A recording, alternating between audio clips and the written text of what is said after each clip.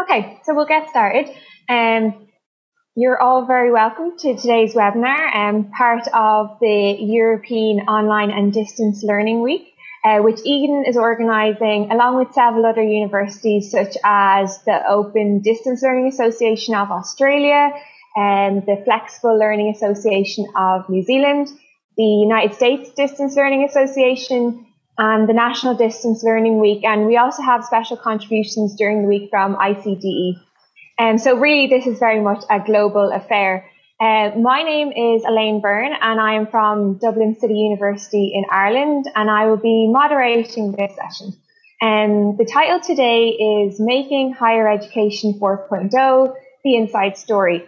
And we'll essentially be getting a behind the scenes look at the design, development and implementation of the MOOC um, Higher Education 4.0 Certifying Your Future.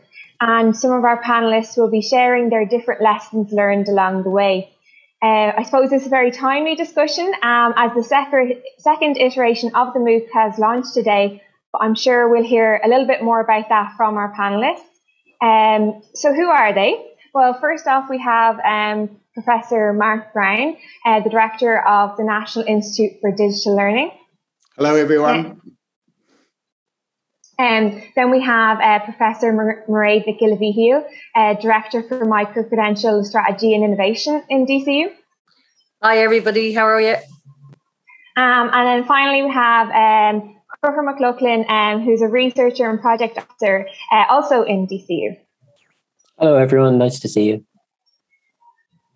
So I suppose then, and just quickly in terms of the format, um, we will start by kind of uh, Mark will present um, a rationale and an overview of the content and structure of um, the MOOC, just to give us a little bit of context in that regard. And then we'll um, engage the pan- panelists in an open discussion, kind of reflecting on their experiences of being involved in designing and facilitating the MOOC. And then the last 15 minutes or so, there will be an opportunity for you to ask any questions you may have or give your feedback on the MOOC uh, if you've taken it. Um, but of course, if you have any questions along the way, please do post them and I'll do my best to incorporate them into the discussion as we go.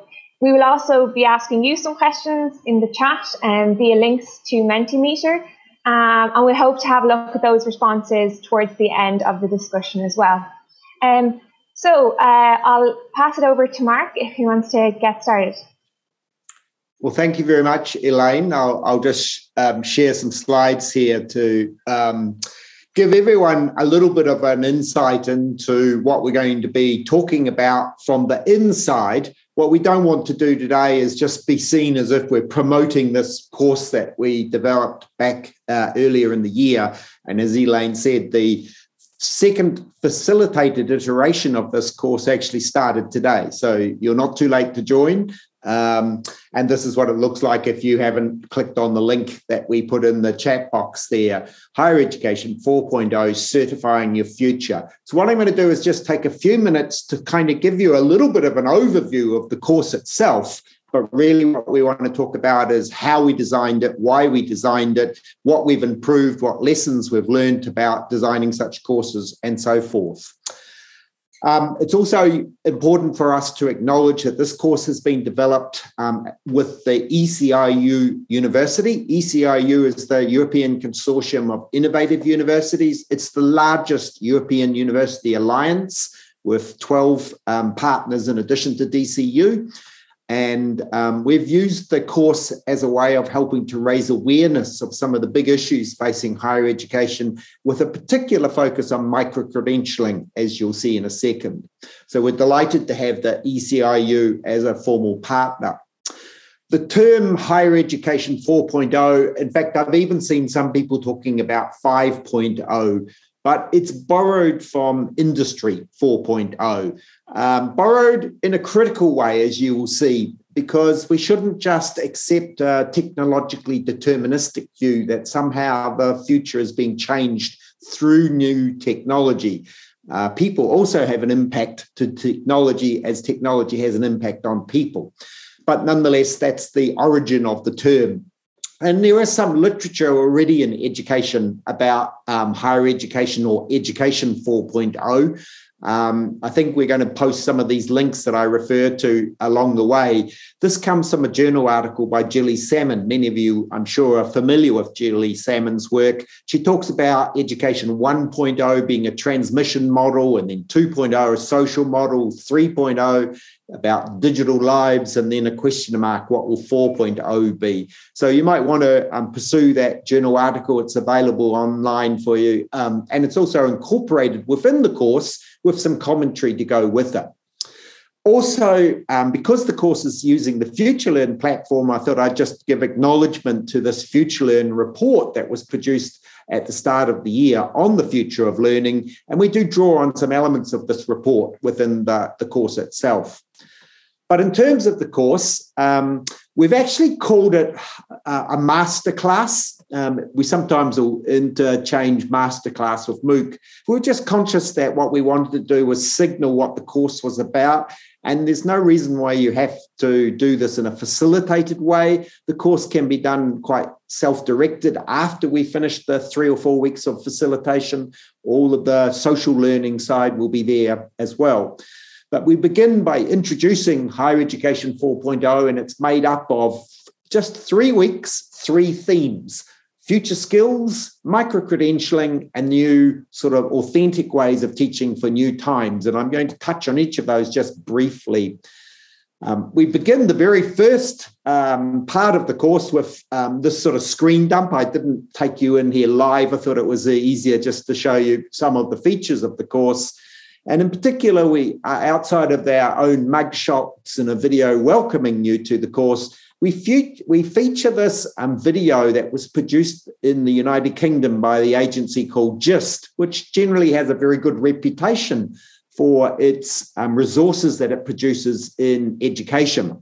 But actually, we want you to be quite critical of this video. And I might just give you a 30 second snippet of it. It's only four minutes, but you probably don't want to watch four minutes um, but I'll give you 30 seconds, which hopefully whets your appetite for you to go and explore the link on your own. So take a look at this. I remember the teacher talked and we listened. We had to memorize quite a lot too. A lot of time was spent filling out books and collecting them up again. We were sitting in rows of desks so we could see the board better because talk and chalk was the way there must be an industrial revolution in education in which educational science and the ingenuity of educational technology combine to modernize the grossly inefficient and clumsy procedures of conventional education. Sidney L. Pressey, 1924. These young people are studying in a new way. A computing calculator designed for use in high school classrooms has created tremendous excitement among educators. So I'll, I'll, stop on that note. Hopefully, that whets your appetite to take a look at. It's only four minutes, I think.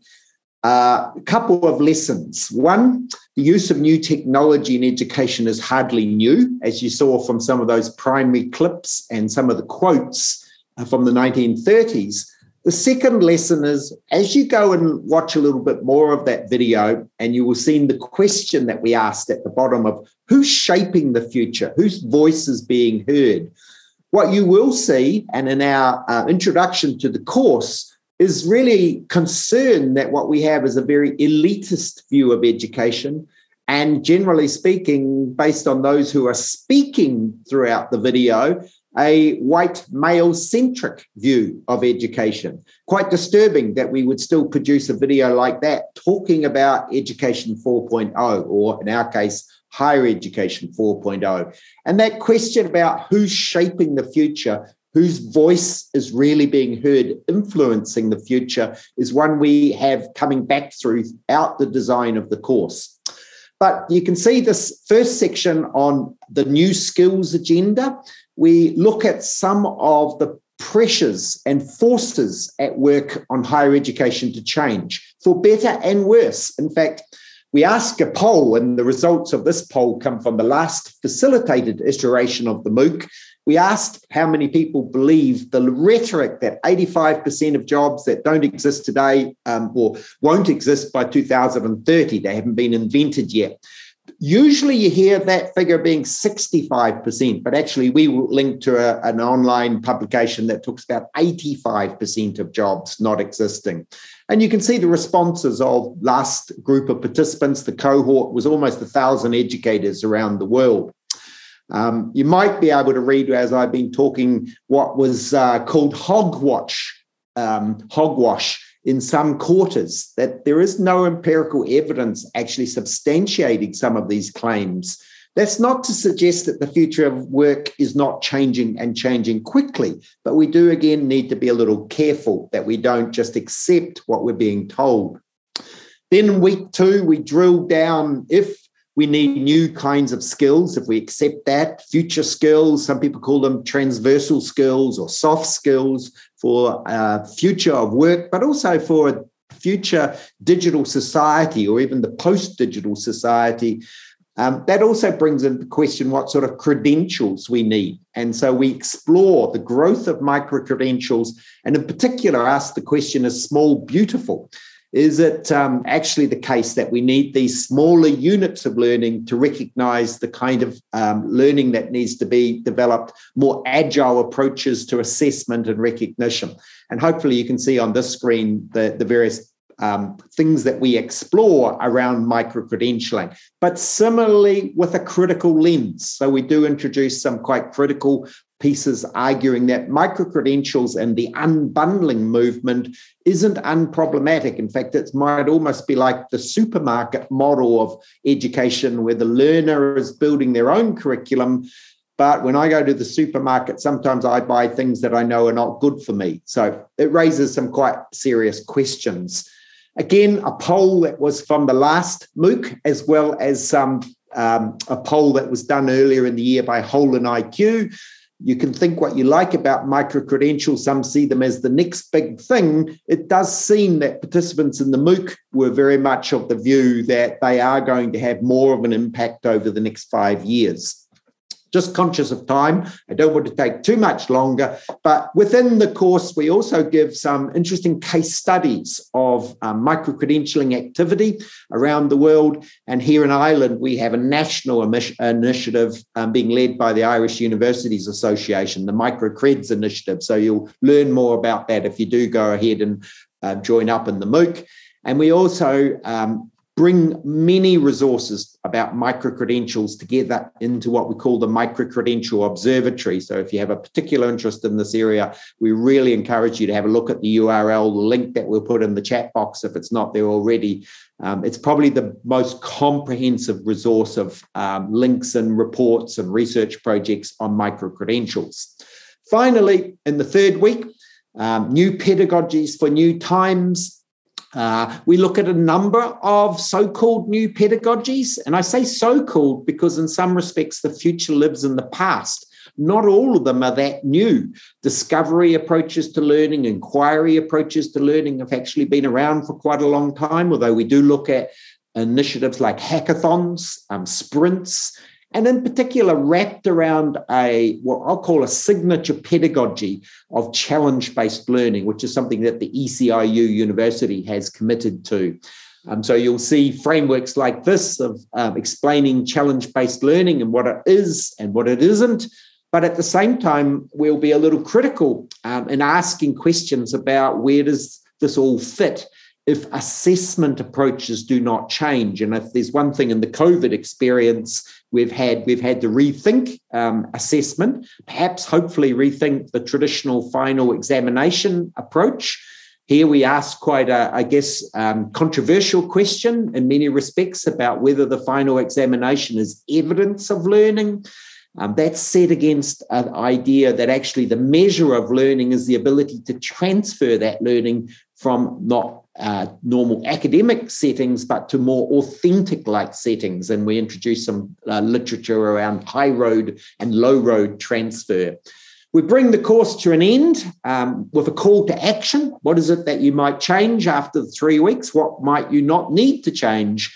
And to come back to this idea that perhaps higher education 4.0 is about developing new ways of doing things for new times, There's a great quote there from Michelle Obama If my future were determined just by the performance I, of mine on a standardized test, I wouldn't be here. I guarantee you that. So um, we hope that you will take a dabble into this course. And what I've done in the last 10 minutes or so is given you a bit of an overview of what we've produced. Um, is what we hope is a really powerful and valuable learning experience. But the intent was not to do a sales job. Ultimately, the intent really is, in many respects, we're hearing a lot about education in change. And what we're really trying to do is get educators to be the ones who are in the box seat, who are driving education for change. And what is the type of change we want? Not the change that we're being told.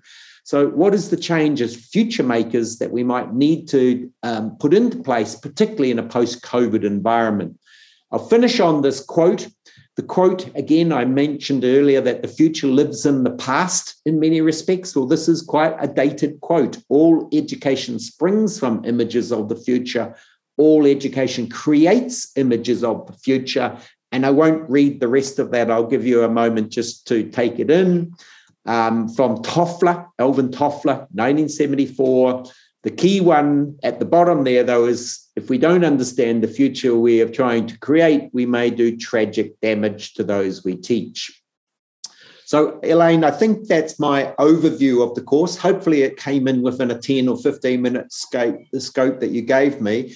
And back to you, essentially. I'll stop sharing the screen. Yes, thank you very much, Mark. I think um, that definitely sets the scene and gives us some context uh, from which we can now kind of develop out our discussion. And I suppose um, in that regard, I'll start with Mairead and maybe bring you into the conversation and ask you just about, to give us some insight in how you went about designing this this MOOC that we've just looked at, and what were some of the key considerations that that came into play along the way? Um, thanks very much, Elaine. And I think Mark has done a great job of outlining sort of the different areas that we were trying to explore. I think the key part in the design process for us is that we really wanted this to be by educators for educators um, because really there's a huge awareness piece in and around this whole the three elements of the agenda with respect to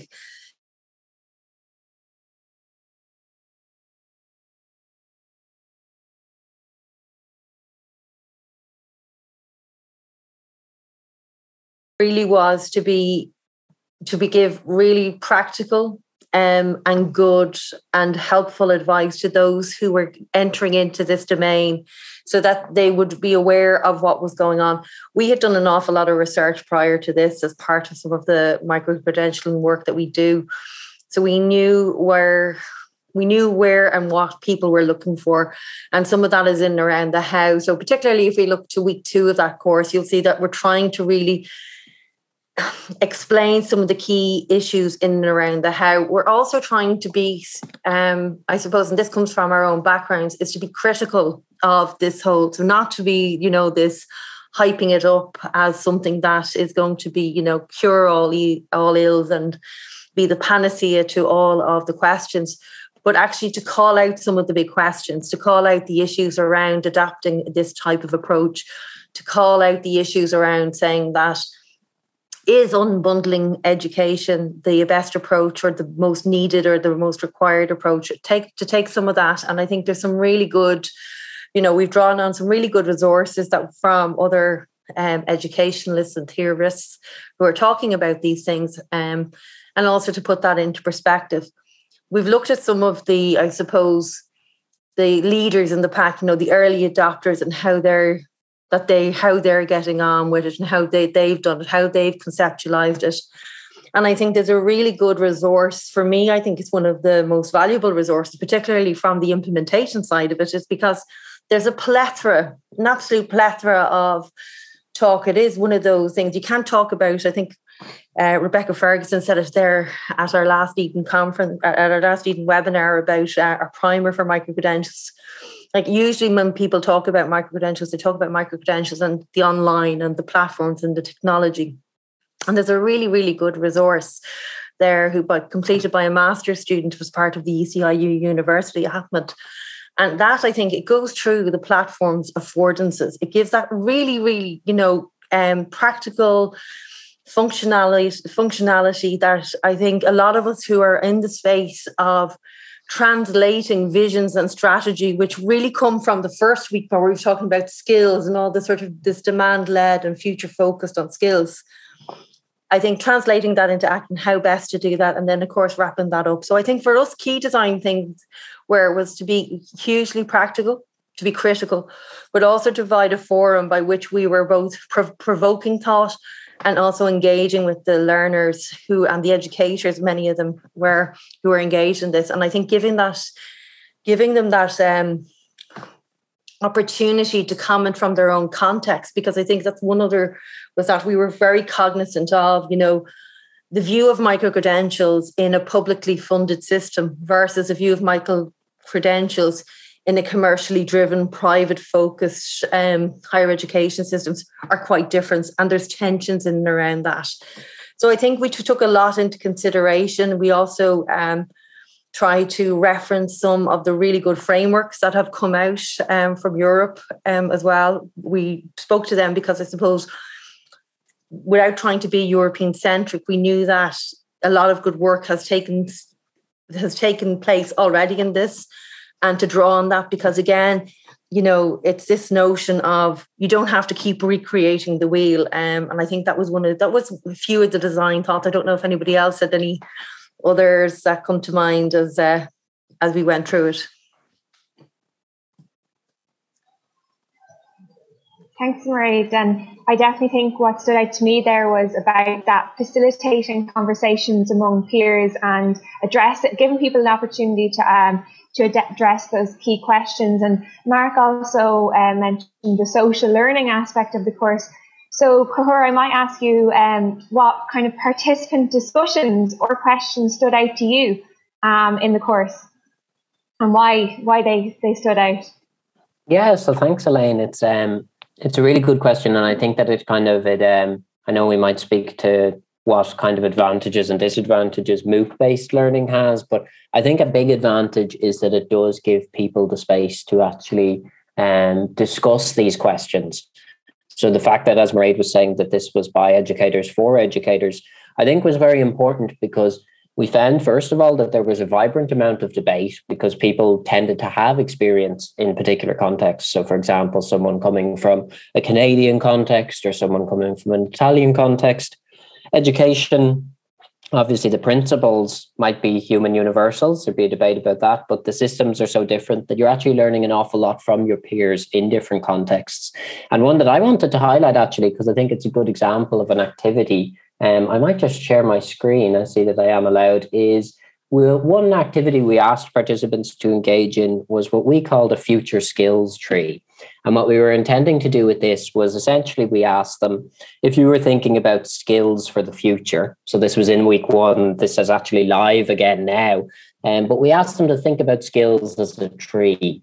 And then we wanted them to kind of tell us, well, what does it look like for you if you take that kind of metaphor of a tree? And what I couldn't get over, because I was thinking about this question earlier, was how much people actually engaged in this. So these are all individual contributions from people.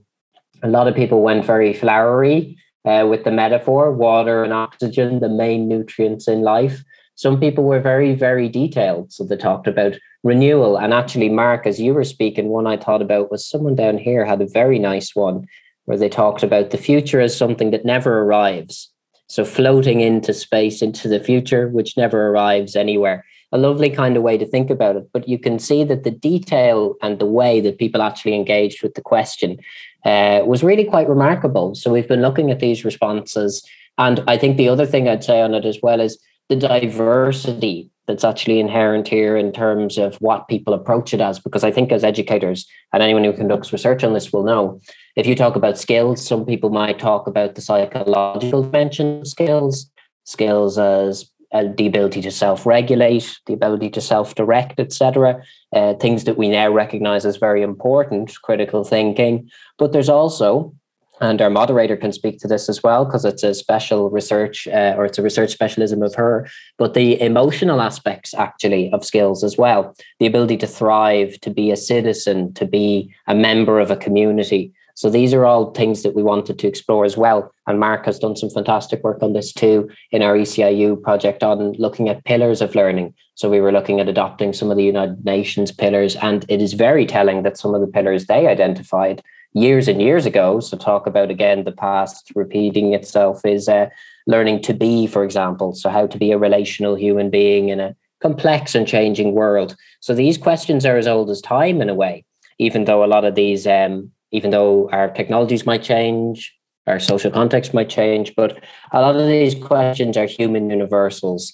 Um, so I wanted to highlight that because I think it really was an example of there's the famous quote from Field of Dreams. I think it's butchered a lot about build it and they will come. You know, if you build these kind of social fora where people can actually interact with each other, um, and educators in particular, I think, are people who enjoy interacting with each other. I think that's something we've probably all experienced at conferences.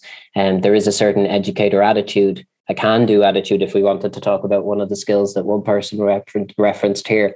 So I would say that it was an incredibly enriching experience actually to see those discussions um, and I think it speaks to where these kinds of courses are really useful. I know we might talk about that further. Um, but I'm not sure if anyone else had a, a particular point that stood out to them. But certainly when I think about it, I was really impressed by this uh, skills tree and contributions we got from our uh, participants. So I might close the stop share there and for you.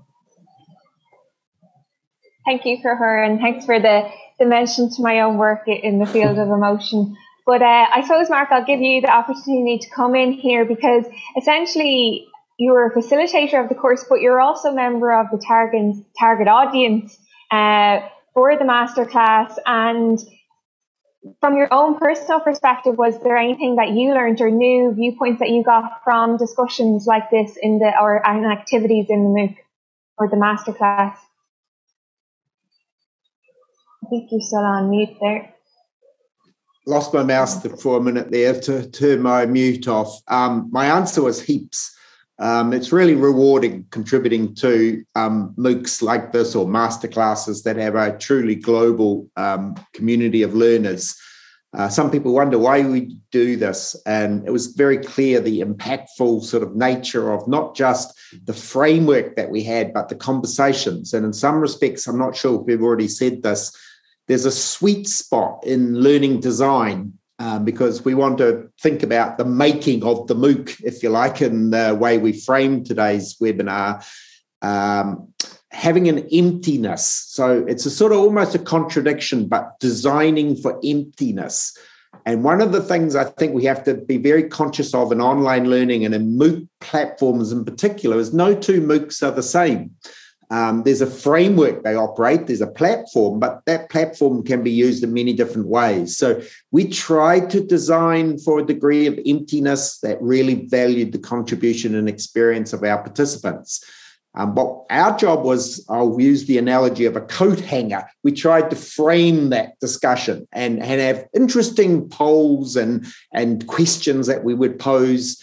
And the way in which people engaged in the conversation. I think the one takeaway, if you know, I was put in on a spot to say what I learned, I just learned that change in and the future is never going to follow a straight line.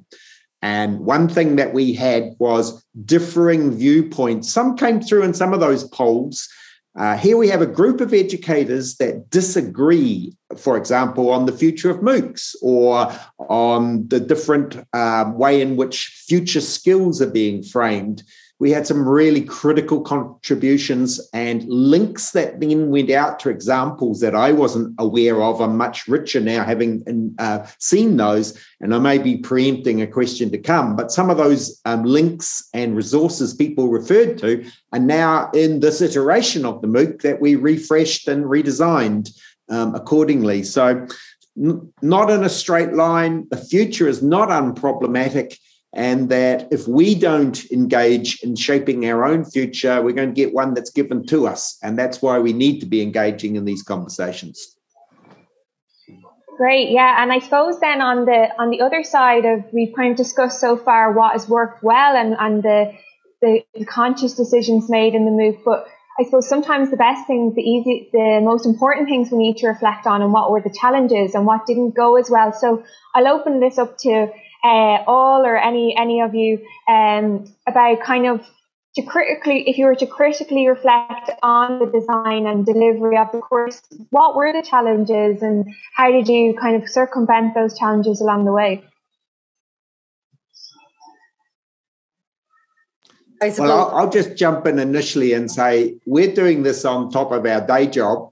Um, this is something that we're making a contribution to uh, for all the reasons that I think we've explained but it's hard to sustain that contribution. And when you get hundreds of discussion posts, as we did, um, it's really tough to reply to everyone. We're committed to trying to really have a dialogical experience. Um, the FutureLearn platform itself is actually designed in a way more so than most other platforms to engage in that conversation. So I think for me, it was keeping up with the conversation um, but that's the great thing about doing an experience like this in a team. If it was just one person, I think that would almost be impossible in teaching at scale or mass pedagogy. But um, I'll hand back to my other colleagues because between the three of us, we were able to balance some of those pressures.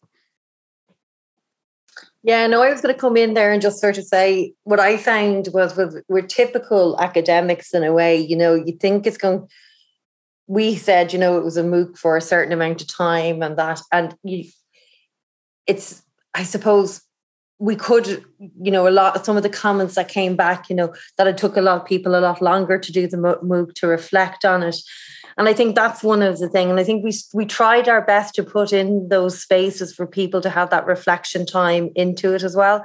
But we were also conscious of um, the design of the MOOC itself as well, and that gratification of having a step completed was another thing that prompted people to complete it. And we all know about completion rates and all that type of stuff. And actually, for this MOOC, we had very, very high completion rates as it happens and engagement. So you're sort it's sort of your that tension between allowing people to move progress through it and then also providing that reflection piece that for me was a critical part of it and also i think that you could necessarily we could say that the mooc could take an extra week or two weeks for people to complete i think that would be a fair assessment as well so for me for me it was that sort of thing of trying to bring people with you bring the conversation on move them on and some people were quite diligent about doing it and they went through it in one sitting or they went through weeks as they went there um, and I think the other part was the the other part that I would have liked, um, and I came back, was this notion, um, and maybe Conchúr will speak to this about the synchronous version of it as well. You know, mm. That there was maybe an opportunity, and I know Conchúr, you were particularly, you know, getting some feedback with respect to that. That we could have also facilitated that um, screen time with people or Zoom time or whatever time we wanted to call it, that they mm-hmm. also wanted that to, to have that element of it. I don't know, Conchúr, if that leads into somewhere where you were particularly looking at. Yeah, well, absolutely. I agree, Marie, because and actually I agree with your other point as well, because the thing I was gonna say was um it's kind of like that thing if you ever read any handbooks on like ethnography or something, they often say that the problem if you're studying humans or if you're working with humans is when you leave. Do you know what I mean? That's when the problem emerges. Because if you're conducting your research, you've gotten access to the field. How do you say goodbye then? How do you say this is the end of the project? This is the, you know, we're finished here, we're moving on with people that you've kind of built relationships with in a way, often case. In our case, it was short, so we didn't necessarily have relationships in that sense, any emotional form of connection, uh, albeit that we know and, and like a lot of our participants. But I think that the finishing is a problem often in MOOCs, I think, is because you want to promote this discussion, you want to promote the dialogue, but it has a date when it finishes. So I really agree with you, Mairead, on that. I think that's a big thing is how do you contrast the formal end, you know, this is the calendar end, this is the day that it's finished with. Well, maybe I would have liked to continue that discussion. And that actually leads to, I think, the other thing you were saying, which was yes, there was quite a bit of feedback about that. That uh, would it be possible, for example, for us to meet up to have some form of synchronous session, um, which is something, again, I don't want to preempt a question that I think is coming up um, but yes, this was a change that we were certainly looking at was uh, would it be possible to incorporate live sessions? And we're happy to announce that it is. We have ones coming next week and the week beyond that. Um, but I think that that's a really, really big point. Yeah, is the it's and it's kind of design based, but it also has the human element as well of how do you ensure that people get different forms of communication as well, you know. I, I think just Elaine, just a thoughts sort of sparked when Conchúr was talking.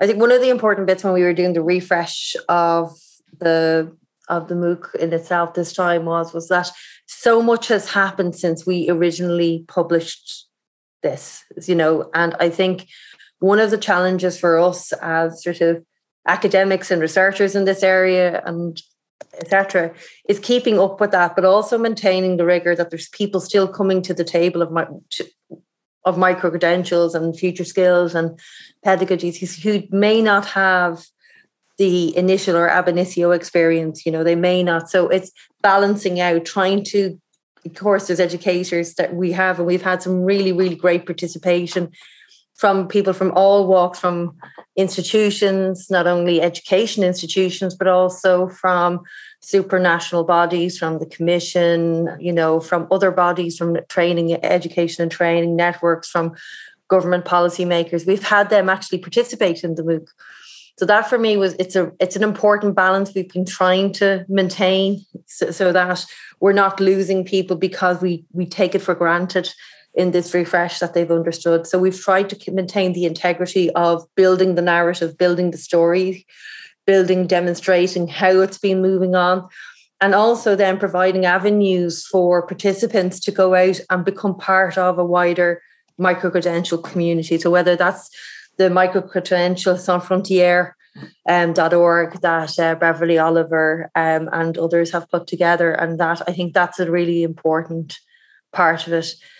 You know, and as Mark has put in the chat there, you know, there's a huge, huge, huge number of reports that have come out, and we also know that we're in a cycle in Europe of where we're waiting for the Commission's recommendations, etc., and um, with respect to the roadmap. But again, that's a really, really important aspect of it. So I think we'll be in a state with this um, course where it's going to be maintaining the integrity of it, but then also providing those who are advancing with it to give them the new and the updated and to maintain that sort of thing, whilst also keeping the integrity of those critical questions that we had around unbundling, holistic approach to education and that criticality. So yeah, so it's been a challenging time, but I think it's also been um, a great learning experience for ourselves as a team. Yeah, it's, it's, it's a, I think there's a lot of lessons there as well that can be um, kind of applied to other contexts as well, and not just um, the MOOC, this this uh, masterclass. And you touched on it a good bit there, but Conchúr, I just wanted to give you the opportunity as well to talk about now that we are in its second iteration um, how the course has developed over time to be, we, we mentioned there, you mentioned there about the up, updated uh, research and how that has been incorporated into the course. And if you had, um, I presume that was based on feedback as well. Yeah, definitely. So, and actually the two themes probably of changes they have both been touched upon, but to maybe even just synthesize them as as Mairead says, I think that's the particularly in the micro credential week, that's a big issue is that um, things are changing almost week to week, you know? So the question then becomes, well, are resources out of date? You know, do they not actually keep up with developments in a field? Or will someone say, oh, well, this report is actually version 2.0, we're now on version 6.2 or something, you know? So there's actually so much movement in that field that I think the first run of that or changes, and in a way, it's a nice metaphor for the MOOC about the future, was the fact that, you know, today's present is is yesterday's future, you know. And um, so there's this constant wheel that we're talking about of time that um, we have to be cognizant of. And as Mairead says, to actually make sure that the course balances that as well, uh, that it still covers the initial content, but also has updates. So we've made pretty substantial changes to week two in terms of content. Um, and then the other element is also including the synchronous element. So, as I said, we actually have upcoming synchronous sessions um, just to allow actually not only as a result of that feedback, but to actually allow a richer form of feedback because there is nothing like, and I mean, even we're looking at the chat here as we're speaking. I don't think there's anything like the actual, you know, human interaction again of it's grand when you get a form back, but when you're actually chatting to someone in a dialogue, a live synchronous dialogue, I think that's a bit different as well. And um, so we're taking the lessons of that also. Yeah, and I think you touched very nicely there on um, Kathy's question um, in the chat about whether there were synchronous elements of the MOOC. um, or whether it was entire it was uh, drawing um, in its entirety on asynchronous methods. But I think you answered that nicely there as well. That there are synchronous element elements incorporated in the form of um, workshops and webinars. Yeah, yeah, in this iteration, but in the previous one there wasn't. And as I say, I think it is something. But again, to touch on something Mark was saying earlier as well, part of this is to do with resourcing as well. You know, it, can be very difficult to find the um you know the time and, and the amount of investment that's required um, on, on the time side is huge as well but this has been such a rich and valuable experience that i think we can see the advantage of doing so as well mm-hmm. Right, I might just ask you if we were to kind of wider, uh, widen this discussion um, and thinking more of the MOOC as the vehicle through which this course was delivered, how do you see MOOCs kind of uh, moving forward in and the role that they play in kind of providing continual professional learning and development for educators. Um, and maybe the role that micro-credentialing plays in this as well, given that that's such a topical uh, point at, at the moment as well.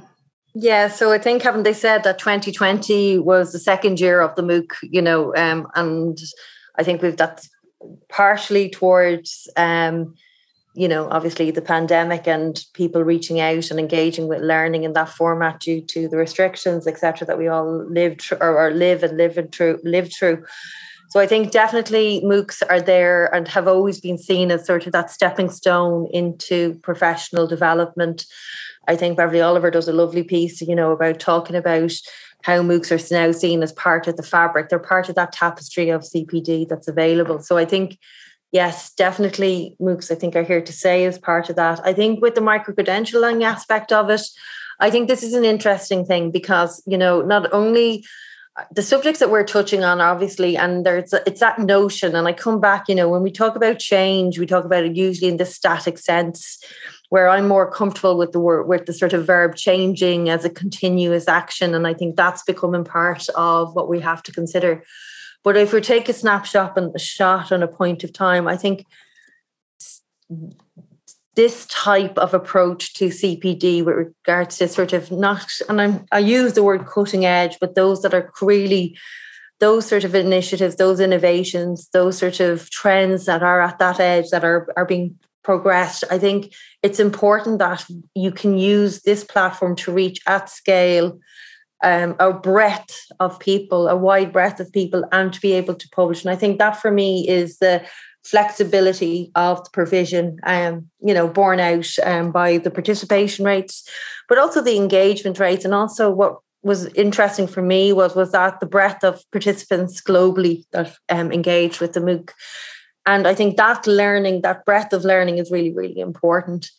I think one of the things, you know, when we were reflecting on this webinar, we were saying, well, if you were to go down another area, you know, and look at what could be or should be included, I think one of the things that we, myself, I think is a really, really important part of this is that through the pandemic, we've learned an awful lot, and more people have learned an awful lot about the the support and the the provision or the the affordances of technology to provide some form of uh, learning. I think there's a no, there is a necessity for continued CPD in that moving from transition based models of engagement and teaching and learning, but also then through, and this is potentially just through um, lack of knowledge or develop, need for the development of knowledge and skills in the notion of um, people being very unaware of the sort of tracking the data surveillance, the surveillance aspects of um, platforms, technologies, etc. And I think that's where there's a need for criticality, a little bit more criticality um, as we widen out um, provision, as we widen out um, use of technologies, etc.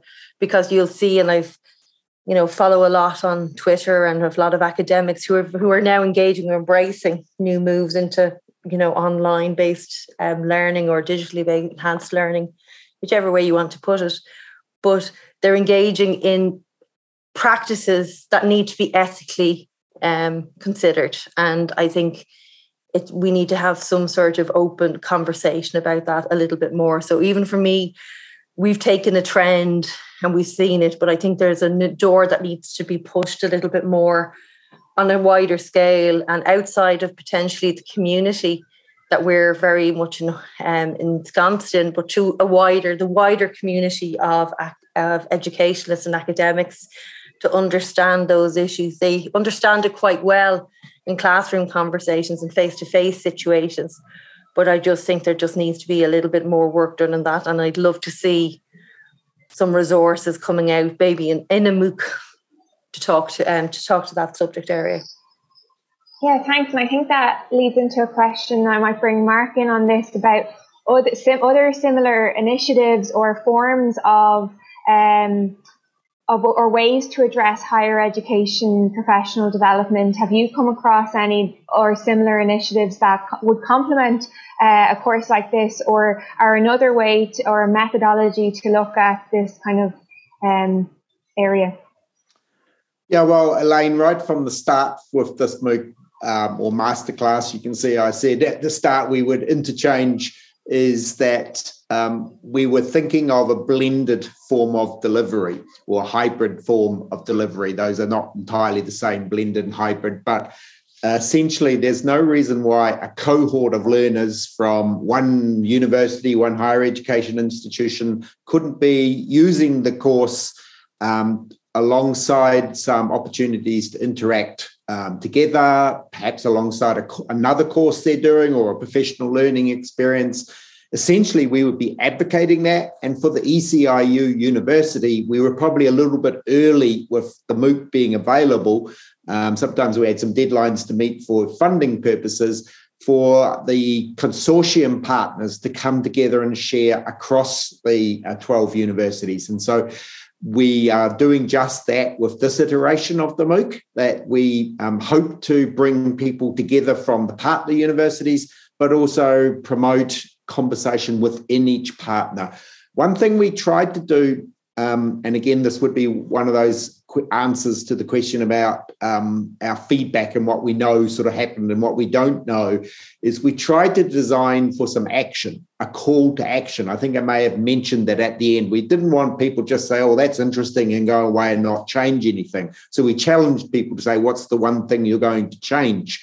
But a, that change operates sort of at an individual level, at maybe a unit level, and a higher whole of institutional level. So, uh, for me, if you really want to get that change at a more systemic level, then you have to go beyond just the MOOC experience. Um, so, if we've triggered some conversations, that would be great. Um, we would want to continue to trigger those conversations because, in terms of professional learning, what we know from more than 50 years of research on the use of new technologies for education is that people largely assimilate new ways of doing things, whether that be a technology or an innovation, into their existing pedagogical orientation, their existing approach to teaching. So MOOCs can be used for transmissional learning or they can be used for conversational kinds of learning. And I use the word conversation here to quite intentionally draw on Diana Laurillard's conversational theory as an example. Um, so I guess um, it doesn't stop at a MOOC, but I think the MOOC is a permanent fixture now in the professional development toolkit that we have available. And the fact that you can interact with educators around the world and get different viewpoints is something that's a strength that you may not have from just your sole institutional based approach. Thank you, Mark. And I think now it would be perfect time to bring in some of our uh, participants and address some of their questions. So please do um, post in the Q&A uh, section of the Zoom here. Um, and I'd also, uh, we're going to post some of our own questions to you that you might want to consider and we might uh, reflect on them as well. But we do have one question um, in the Q&A box and that is, what do you think of the transdisciplinary approach to education? Um, and I'll, I'll open that up to the panel for whoever wants to jump in. I, I wonder what's meant by the term transdisciplinary, and I might be able to multitask in a second while someone else is talking and share a table that I have that helps to define transdisciplinary from multidisciplinary, from interdisciplinary. So I'm not entirely sure um, we're all speaking the same language when we use those terms. So I will see if I can find the, the table that I can share my screen. But uh, um, one of the things, if I just pick up on the point about uh, transfer of learning that I was referring to in the last section of the course, what we know is that learning that takes place in predominantly academic contexts that makes no real link to the rest of the world. I could say real world, but academic contexts are part of the real world. Um, that has weak transfer and therefore weak potential for learning. Um, and in the real world, in inverted commas, when I use that term, knowledge is interdisciplinary, transdisciplinary. It doesn't get siloed and ring fenced into, oh, I'm doing physics now. Um, all of these disciplines that we have come to bear in solving problems. So for me, it's implicit that you have to adopt and promote such an approach.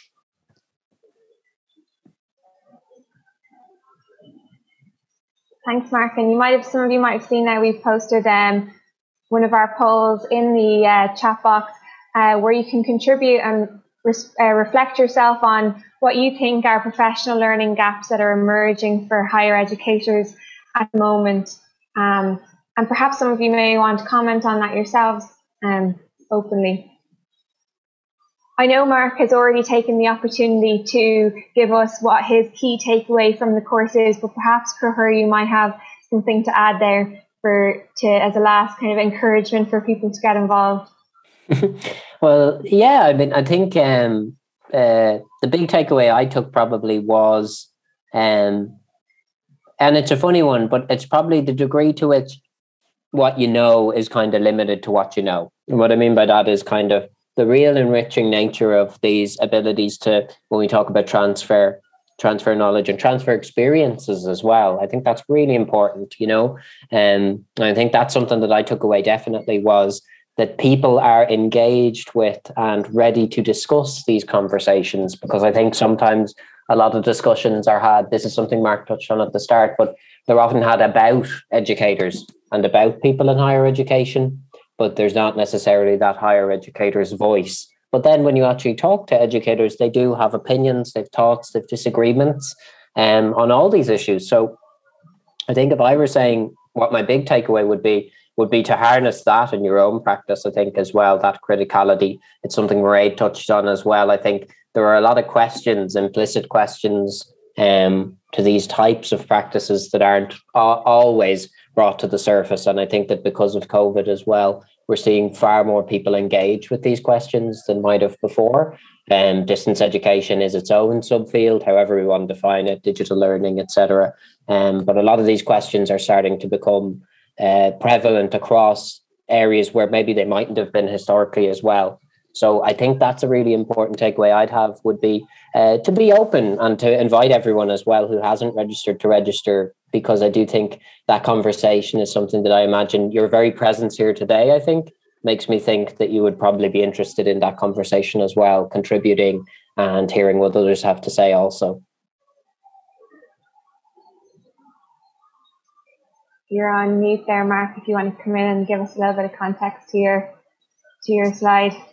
Now, am I still sharing the screen? You're still seeing that? No, no not anymore. Okay, I'll share I'll share the screen. Sorry to cut in there, uh, Conchúr, but I just thought since I did find what I was looking for. So I think the um, I'm not going to take time to walk you through this, but just to say, if there is a takeaway, and maybe this is the scholar or academic in me, that words do matter. And um, even the concept of challenge based learning, even though our institution has made a commitment to this as a signature pedagogy, we're quite critical about what's meant by challenge based learning and what it isn't. Um, in this case, just to give you one take on the difference between um, transdisciplinary, interdisciplinary, and so forth. So there are various domains that one needs to think about. So since that just came up, I thought it was the teachable moment. Thanks, Mark. And I think while you've been chatting there, we got some uh, input on our poll. So I'll share my screen and it might be something that you can reflect on um, as panelists in terms of. So this is the different um, professional learning gaps that um, some of our participants have uh, see um, from their own experience or context. So we have a lack of collaboration, um, again, similar around more flexible opportunities to interact with different cohorts um, in borders, time, space.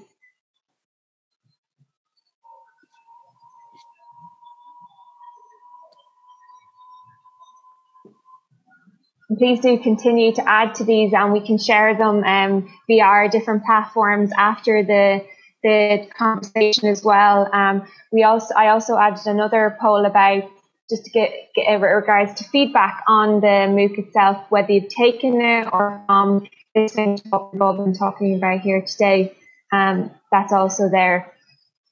Um, I suppose um, I'll just come finally, before we finish up, um, unless anybody has any other questions, just to Mairead to give you an opportunity as well, just to reflect even on these points, because I know you spoke a little bit about CPD earlier, um, or else, or um, but also kind of your key takeaway from the course, um, as I've given the other two the opportunity to talk about that. Yeah, I think again for me, like these are really interesting innovation management and design thinking, really important areas now. And for me, it's I think one of the things is this notion of agility and changing. I think we're being, I think we're we're being, I suppose, presented with so many different trends, concepts, and I think there's a there's a need for a lot of I suppose synergistic thinking that you get when you go engage with processes. Creative processes I think is one of the things that I would say is that being able to look at um, being able to draw together those notions of design thinking when you boil it down to agility based um, approaches. They all come down to that notion of creativity and i think that for high is becoming sort of a cpd area that i thought i'd never have to engage in as an academic but I think actually is becoming more required because we are being asked to be chameleons. We are being asked to reflect on and to be able to pivot into new domains. And I think one of the things, and even following newer academics and those who are coming through PhD um, programs and are coming into their first few years in academics, um, is that being able to juggle so many things, but then being able to focus, but to have that laser focus within them as well. So I think there's a notion of the creativity, the agility, and then also focus and how the three of those meet together. So I think that would be a really very interesting area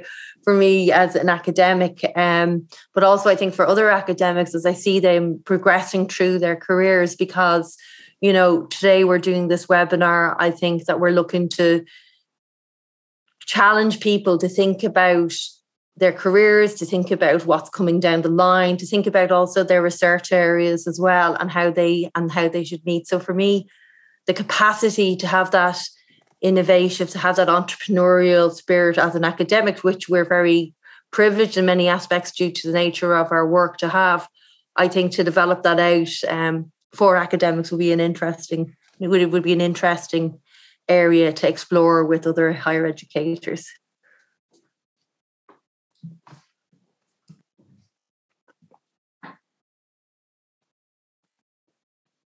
I think Thanks, Mark has had to step out to yeah. a meeting, so um, I, will hand back to yourself, Elaine. Yes, thank you. Yes, he has indeed. Um, but uh, just in, I suppose we can finish up now anyway. And um, I want to thank you all for, for joining us here today, and in particular to thank our uh, three panelists. And I hope you all your your contributions have been really insightful, and I hope everyone here enjoyed um, listening. And also thank you for to anyone who took part as well in our um, by asking questions or taking part in our um, interactive questions uh, posed. But um, please do join us on the, the MOOC itself. Um, we'd love to continue our conversations there. And I think some of Mairead's finishing points there uh, allude to maybe opportunities for future MOOCs um, in this area as well. Um, so uh, please do um, keep in touch and we will uh, share some of the contributions to the Padlet via Twitter um, and things like that afterwards. So thank you all very much and um, have a lovely rest of the day wherever you are. Thanks very much, Al. Slán Bye now. Thank you, Gurma Hugwith. Thanks, Elaine. Thanks, Eden. Thanks, Elaine. Slán.